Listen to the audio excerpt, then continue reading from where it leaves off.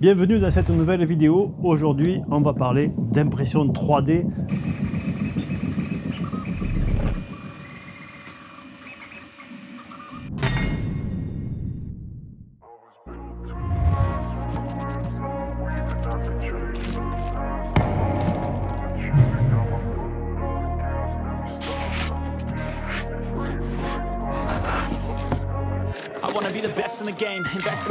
Check no restraints, I'm obsessed with the pain. I ingest, I retain, assess and I change. Possessed by the thought I'll be free one day from society's restraints, money, clout and fame. Cette imprimante, c'est la Tutri SK1. C'est le dernier modèle de la marque. Elle arrive, elle est quasiment montée. Dans le carton, on trouve une bobine de fil, l'alimentation, quelques outils. Et dessous ici, on trouve l'écran qu'on va installer. Voilà. Je pense que ça va aller par là. Et on va regarder ensemble les caractéristiques et puis surtout savoir comment elle est faite. Parce qu'elle a l'air très bien faite. C'est une marque que j'ai déjà testée notamment sur des graveurs laser, plusieurs graveurs de la marque. Et chaque fois, j'ai été surpris de la qualité de fabrication. On peut déjà regarder ici. On n'a pas des axes ronds, on a des glissières qu'on retrouve sur les commandes numériques. Pour l'installation, c'est très simple il y a des fixations ici, ici, et puis on va monter l'écran ici avec son support. D'après la notice, il y a aussi des fixations de l'axe Z, mais moi, elles n'ont pas été installées. L'axe Z est libre de tous les côtés. Vérifiez quand même que vous n'avez pas le même type de fixation, même type de blocage ici. Normalement, il doit y avoir quelque chose comme ceci. Moi, ça n'y était pas.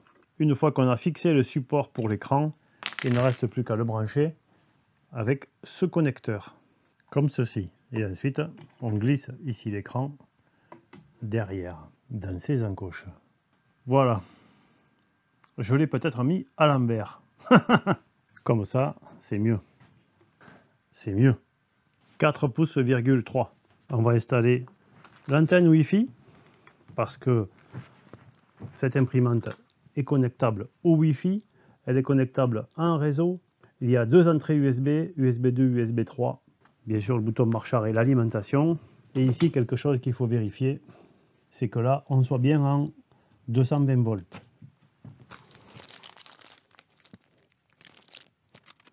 Voilà, c'est fait.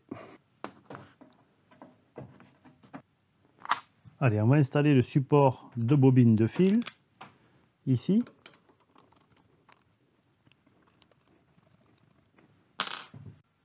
Et on va en profiter pour installer la bobine pour faire les premiers essais. Que je pose la caméra. Voilà. Hop. On va voir ensuite comment faire passer le fil à travers la tête. Dans le montage, on a terminé c'est fini, il n'y a plus rien à faire. Dans la trousse, on va retrouver des aiguilles pour nettoyer les buses, une belle pince à nettoyer ou à couper les filaments, un tournevis, une superbe pince, une brosse, les outils nécessaires pour démonter toute la machine. Ici, on a des pièces supplémentaires.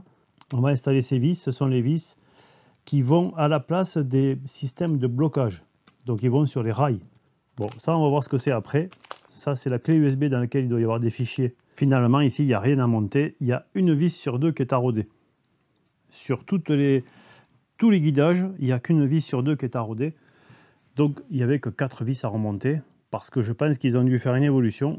Ici, il n'y a pas de système de blocage. Elle est sur la notice, mais elle n'a pas été installée et il n'y avait même pas les vis pour les remplacer. Donc, alors ce qui est marrant, c'est qu'en fait, comme on a trois points, on peut faire descendre indépendamment un côté ou l'autre. On peut faire ça. Descendre d'un côté, descendre l'autre, descendre là-bas. Alors il est dit qu'il y a 47 points de contrôle avant d'envoyer la machine. Les 47 points sont indiqués ici. L'extrudeur, le châssis, l'écran et quelques fonctions d'impression. 47 points de contrôle. C'est bien la première fois que je vois ça sur une machine. Et puis là, avant de la tester, je m'aperçois qu'il y a des fixations ici il y a des taraudages, il y a la possibilité de mettre quelque chose devant. J'imagine que ça ne doit pas être très compliqué il y a un décalage en plus. On le voit ici, là, il y a un décalage. On doit pouvoir installer facilement une enceinte, au moins sur le côté. Elle était peut-être prévue ou elle est peut-être en option, je ne sais pas. Mais il y a déjà les taraudages. Ah, et quelque chose de notable, c'est qu'on a une notice en français. Eh bien, ça fait plaisir. C'est très très rare, donc il faut le noter. Bon, on a terminé l'installation. Donc maintenant, il reste à trouver à quoi ça sert ici ce petit adaptateur. L'explication est peut-être à l'intérieur de cette clé USB. Eh bien non, à l'intérieur de cette clé USB, on a le même document qu'on a en format papier. Et on n'a pas grand chose d'autre. Ah, on a le Benchy, on a deux boîtes. On va tester le Benchy tout à l'heure. Bon, le manuel, je l'ai vu. Ici, on a des configurations. Je vais utiliser Prusa, donc je vais venir ici chercher ma configuration. Cette machine est juste sortie. J'imagine que dans quelques temps, on trouvera des informations sur, sur cette carte et sur euh, la mise à jour de l'écran. Cet adaptateur ne sert qu'à lire la petite carte USB. Bon, pour l'instant, je ne peux pas vous en parler, donc je n'ai pas d'informations. Je vais le garder précieusement, mais sur le site, eh ben, il n'y a rien. Rien du tout. Et sur la carte USB non plus. C'est souvent le cas quand on installe des machines, qu'on a reçu une machine, eh bien on n'a pas forcément tous les éléments. Et ça arrive même qu'on n'ait pas les éléments sur le site du constructeur. C'est le cas là aussi. Et ce qu'il faut noter donc, je le répète, c'est que cette machine est sortie il y a seulement une quinzaine de jours au moment où je fais la vidéo. Ça veut dire malheureusement que si vous êtes débutant, il faut savoir qu'il y a quand même un paquet d'apprentissage à faire. Il faut passer du temps à apprendre beaucoup de choses avant d'arriver à tirer le profit d'une machine aussi performante.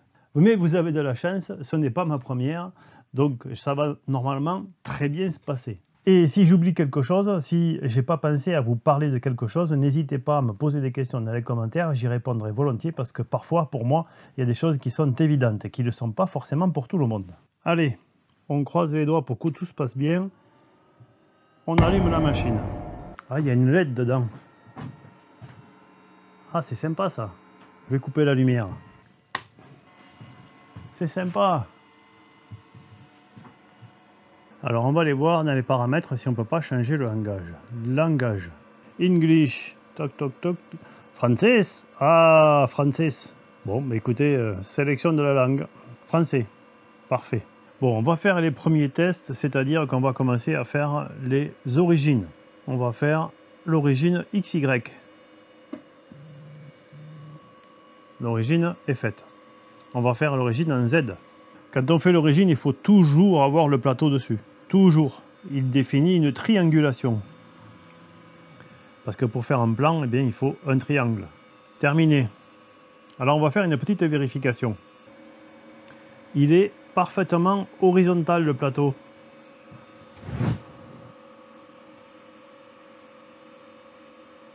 Et pourtant, je l'avais fait bouger, il était complètement de guingois. Donc il y a une procédure qui le remet horizontal on a fait l'origine des trois axes. Maintenant, eh bien, on peut faire le leveling, c'est-à-dire la mise à niveau et la détection de toutes les imperfections de surface. Et ça, ça va se faire sur 36 points. Donc on va aller ici, ici, et je vais appuyer sur je ne sais pas, puisque je n'ai pas de notice. Alors ici, il va mesurer le tilt. Il va faire chauffer le plateau vous avez vu qu'on n'était pas très chaud, il fait 15 degrés dans l'atelier, donc euh, il va falloir un petit temps pour que ça chauffe. Alors si on le regarde à la caméra thermique, on voit que l'écran est un petit peu chaud, mais on voit surtout que le plateau, lui, chauffe. Il est à 40, alors que l'environnement est à 12. Il fait 12 dans l'atelier. alors bien entendu, ce système d'imprimante qui n'est pas dans une enceinte, eh bien, c'est un peu énergivore, c'est-à-dire qu'on arrive, on conserve pas la chaleur à l'intérieur. Mais de notre côté, les bus d'impression n'acceptent pas trop d'avoir une ambiance chaude. Quand on est à 60 ou qu'on monte même des fois plus, hein, on a des plateaux à 80, si on monte à 80 au niveau de la tête ici d'impression, eh bien on a le fil qui se ramollit et des problèmes de bourrage. Là, c'est un problème qu'on n'a pas On va essayer de regarder la température de la buse, si on y arrive. La caméra capte une température à 160 degrés. À l'extérieur, parce que il y a une protection là. On ne le voit pas bien, mais il y a une protection en silicone tout autour. Donc la caméra, je pense qu'elle capte pas tout. Bon alors maintenant avec une cale, je vais mettre la cale sous la buse et je vais aller monter ici. Je peux monter de 2 dixièmes, donc je vais monter de 2 dixièmes. Cette cale que j'utilise n'est pas fournie avec la machine. Euh, vous faites avec une feuille de papier. Moi je fais avec une cale métallique comme ça. Je sais que elle est toujours à disposition. Voilà, c'est fait. Donc là, je touche à peine. Il faut que la cale passe à peine, sans forcer là, sous la buse. Je mets OK. On devrait passer au bed leveling. Bed mesh, ils appellent ça. Donc là, on va chauffer encore et puis on va prendre les 36 points. On a donné une référence au milieu et maintenant, par rapport à cette référence, il va mesurer les écarts qu'il y a par rapport à la référence, les mémoriser. Ça va donner une cartographie, comme on le voit ici, là, c'est simulé comme ceci. Là. On voit ici que c'est une cartographie euh, du niveau. Donc à l'intérieur, il y a un détecteur, un détecteur de proximité, d'où l'importance d'avoir le plateau posé ici, parce qu'il est métallique et c'est ça qui fait la détection. Si on n'a pas ce plateau, eh bien on va rentrer dans le lit dessous. On voit le déplacement est assez rapide. Hein. Il est vraiment rapide. Dans la boîte, il n'y avait pas de graisse. Bon, ce qu'on ce qu'on reçoit des fois quand on a euh, ce genre de guidage, c'est un petit peu de graisse pour aller avec. Euh, on peut mettre de la graisse ou on peut mettre un petit peu d'huile. Une goutte suffit. Une goutte suffit. Et attention, moi, dans mon environnement, il va prendre la poussière. Si je mets trop de graisse, ça va faire des pâtés. Si, euh, si vous êtes dans un environnement propre, mettez-y une goutte d'huile. Ça permet comme ça de lubrifier les, les guidages linéaires. Sinon, eh il faut appliquer un, nettoyage assez fréquent. Et moi, ça va être mon cas parce que même si je le couvre d'une bâche, ça va prendre la poussière. Euh, je travaille le bois ici, je travaille plein de choses qui font beaucoup de poussière. Donc il y a des chances pour que euh, ce soit plein de poussière très rapidement. Cette configuration n'est pas favorable dans un tel environnement. Dans un appartement, ça pose aucun problème. Bon là, on a pratiquement terminé. Hein. Le temps de discuter, euh, on en était là. Hein. Ça va très vite une trentaine de secondes maximum. Bon, c'est terminé. On va mettre ici l'input shaping, la calibration des résonances. C'est-à-dire qu'on va définir à quelle vitesse la machine résonne. Et quand elle résonne, elle fait des ondulations sur l'impression. Donc il y a des vitesses qu'on va éviter. On ira plus vite, moins vite, pour éviter ce genre de choses. Ça fait des déplacements ici comme ça très rapides. Je ne sais pas si vous l'entendez, j'approche mon micro pour que vous l'entendiez, mais... Euh, Allez, on continue avec la calibration de l'axe Y. Pareil, on se déplace comme ça et ça fait vibrer. On a une accélération de 20 mètres par seconde au carré, c'est énorme. Ces machines font la même chose. Elles ont le même procédé. Elles sont sous clipper et elles ont cet input shaping qui permet en théorie d'avoir des pièces qui sont pas trop déformées par les vibrations. C'est la différence entre le haut et le bas. On voit en bas là un certain nombre de vibrations et on ne le voit pas en haut. En haut, c'est la Quiddy, en bas, c'est la Creality. Il n'y a pas les mêmes paramètres, ça se voit, c'est le même fil. Hein. Il n'y a pas les mêmes paramètres, il y en a un qui est brillant, il y en a un qui est mat, mais il y en a un qui vibre et l'autre qui vibre moins. Là, c'est flagrant. Ça sert à ça, l'input shaping, ça sert à éviter ces ondulations qu'on voit ici. Je n'ai pas refait l'input shaping quand j'ai redéplacé la machine. Du coup, je me retrouve avec ce problème-là. Je vais le régler en le faisant. Je m'en suis aperçu en faisant ces pièces.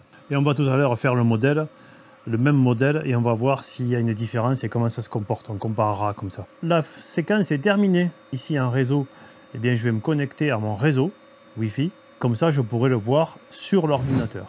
Il faut que je rentre la clé. Allez, je suis curieux de tester cette machine. Donc, je vais la mettre ici, la clé USB. Et normalement, ici, je devrais avoir accès au Benchy. Alors, je sais pas s'il est là, je sais pas s'il est là. USB. Je code. Cube, cube. Benchy 18 minutes. Ah, j'ai oublié quelque chose. Chargement, déchargement. Donc, je vais descendre un peu la température. Elle est trop élevée là. Je vais y mettre 230. Chargé. Il chauffe. j'ai installé ici le fil, mais je l'ai poussé que jusque là. Quand on va arriver à 230, ça va avancer. Donc je vais essayer de l'aider ici un petit peu en le poussant. Puis comme ça, je sentirai si ça avance. Hop, ça avance. Voilà. On ne devrait pas tarder à le voir sortir. Exactement. Donc ça sort. Donc on a évacué le fil qui a permis de tester la machine. On a vu que dans les 48 points de contrôle, il y avait le test de la machine. Donc maintenant, on va aller ici. On appuie sur imprimer. Peut-être qu'il va refaire un leveling. C'est possible. Il y a certaines machines où il y a une case à cocher ici où on peut faire le choix de faire une calibration avant chaque impression. Là, visiblement, je ne l'ai pas, la case. Le plateau est en train de chauffer, on, doit atteindre 60 degrés et normalement ça doit prendre 18 minutes d'impression. Bien sûr, hors temps de chauffe. Ce qui dit dans la machine, c'est qu'on atteint les 300 degrés puisque la buse peut monter jusqu'à 300 degrés et le plateau monter jusqu'à 100 degrés. Mais la buse, on atteint les 300 degrés en 30 secondes. Là, ici, c'est pareil ça monte quand même très vite. Je vous rappelle qu'on est à 13 degrés dans l'atelier. On arrive presque à la température de chauffe du plateau. Ce dont on peut parler maintenant, c'est que avant qu'on commence à imprimer, le niveau sonore est quand même assez faible, compte tenu du fait que l'enceinte est ouverte. Ce qui fait du bruit pour l'instant, c'est la ventilation de la carte d'alimentation qui est dessous. Les déplacements sont très silencieux aussi. Reste à savoir si la ventilation de la tête d'impression est euh, aussi bruyante que sur la K1. Sur la K1, c'est une vraie turbine. Ici, ça y ressemble et il est bien possible que ça fasse aussi pas mal de bruit. Je dis ça parce que moi, je suis dans un atelier, il n'y a personne autour de moi, ça pose pas de problème, mais certains utilisent ce genre de machine dans des appartements avec quelqu'un qui regarde la télé à côté, par exemple, ou qui écoute euh, de la musique ou qui qui lit un livre, et quand on a une machine comme celle-là, euh, qui tourne, elle va tourner des fois plusieurs heures, bon, il faut quand même avoir une idée de la nuisance sonore. Là, comme à chaque fois, je le dis à chaque fois, euh, ce G-code est un G-code spécifique. C'est-à-dire que j'imagine que Toutri a bien travaillé le G-code pour arriver à faire un benchy en 18 minutes. Ils ont travaillé toutes les étapes et il sera peut-être difficile de reproduire avec tout simplement le modèle Benchy mis dans le slicer avec des paramètres parce que ça a dû leur demander du temps d'optimiser tous les paramètres pour réduire ce temps-là. Pour mémoire, 17 minutes, 17 minutes, 18 minutes, bon c'est à peu près équivalent. L'Anicubic que je vous ai présenté aussi le faisait. C'est maintenant un standard. Reste à savoir euh, à quel euh, niveau de propreté sera réalisé ce benchy. Donc le filament que j'ai utilisé, c'est le filament de test qui est fourni dans la machine, c'est du filament tout tri. J'imagine qu'il est prévu pour les grandes vitesses aussi. Cette machine va à 32 mm3 par seconde, c'est beaucoup en termes de débit. Donc elle a une grosse capacité de chauffe, elle a un entraînement à double engrenage, c'est un direct drive, c'est-à-dire que le fil est tiré, il n'est pas poussé à travers le tube comme les anciennes. Bon, c'est maintenant un classique sur les imprimantes. C'est, je le rappelle, une imprimante qui vient de sortir. On est en décembre 2023, elle vient de sortir. Donc, c'est normal. Clipper, format core, direct drive, tête à double entraînement, des vitesses supérieures à 500 mm par seconde. Ici, on est à 700 mm par seconde au maximum avec une accélération de 20 mètres par seconde au carré. Bon, c'est, euh, on le voit, hein, ça fait peur des fois. Et pour revenir au bruit, eh bien, c'est pas si bruyant que ça. Le ventilateur ici du module d'impression s'est déclenché et il est beaucoup plus silencieux que celui de la Creality.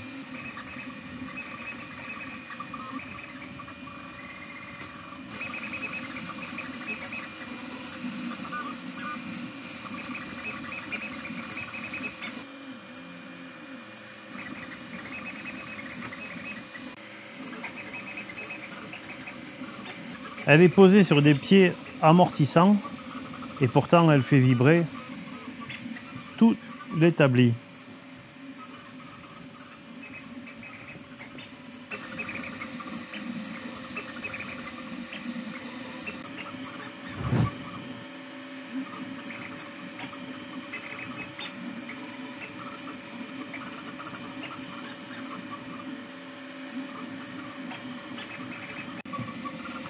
On voit que l'axe Y avait été graissé d'origine. La graisse est en train de se répartir sur toute la vis mère.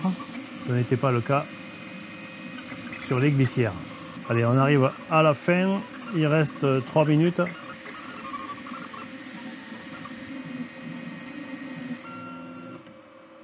« 18 minutes d'impression.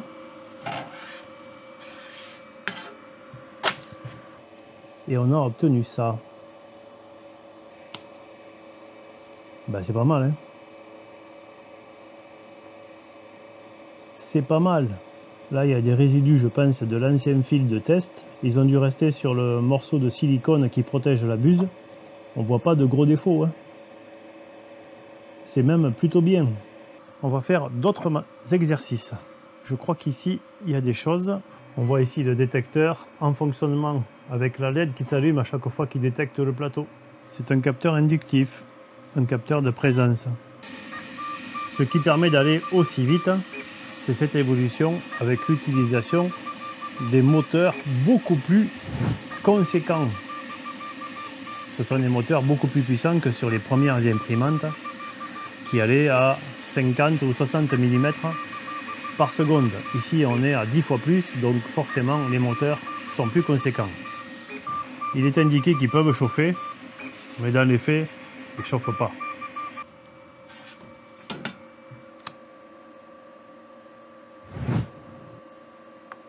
C'est un plateau en PEI.